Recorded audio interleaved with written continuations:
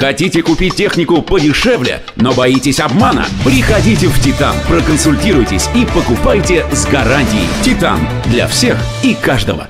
Кировские оперативники задержали в Самаре 34-летнего жителя Новосибирской области. Мужчина обманывал кировских пенсионеров. По телефону представлялся работником банка и списывал с карт своих жертв деньги. Сейчас злоумышленник задержан. Он подозревается в шести эпизодах дистанционных мошенничеств. Все подробности в следующем материале.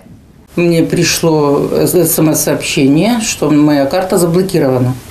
Думаю, как так заблокирована, если я еще как бы этой карточкой рассчитывалась буквально 10 минут назад. 64-летняя жительница Нововязка насторожилась, когда получила странное СМС. Ничего не подозревающая пенсионерка позвонила по номеру, указанному в сообщении. На том конце провода мнимый работник банка подтвердил, что карта якобы заблокирована и сказал женщине, что нужно делать. Продиктуйте номер карты.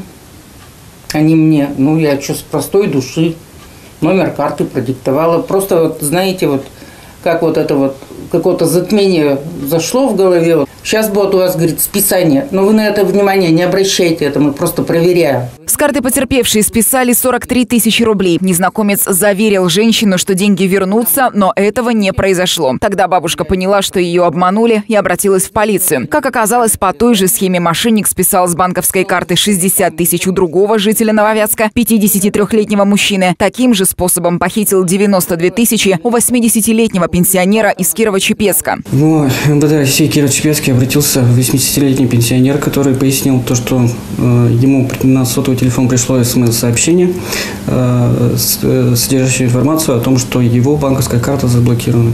Перезвонив по указанному абонентскому номеру, Ему ответил неизвестный мужчина, который э, пояснил, что он является работником банка и э, попросил назвать э, реквизиты карты. По факту дистанционных мошенничеств возбудили уголовные дела. Оперативники вышли на след злоумышленника, а мужчину задержали в Самаре. 34-летний, ранее судимый безработный житель Новосибирской области, сдаваться без боя не собирался. При оказании активного сопротивления он был задержан допрошен и дал признательное показания о совершении двух преступлений. Задержанный подозревается в шести эпизодах дистанционных хищений с банковских карт кировчан. Мужчину проверяют на причастности к другим подобным преступлениям, в том числе в отношении жителей других регионов России. Расследование продолжается. Алина Котрихова. Место происшествия.